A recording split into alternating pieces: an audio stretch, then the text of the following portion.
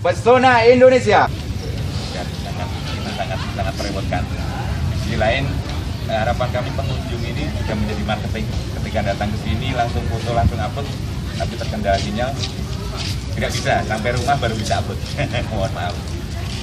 Yang kedua, eh, walaupun kami yakin dari teman-teman kami ataupun eh, pol air, pol air, kami yakin juga dengan keterbatasan Surabaya untuk menghapus sepanjang pantai ini kami mohon adanya pelatihan kepada warga kami khususnya muda-muda ini eh, penanganan pertama penanganan atau kami punya punya pengalaman yang basic arah itu Pak Kasab dan petugas SAR-nya kurang.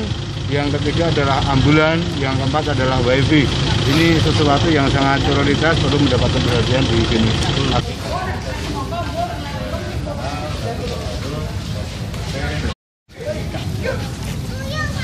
Ha ha ha ha!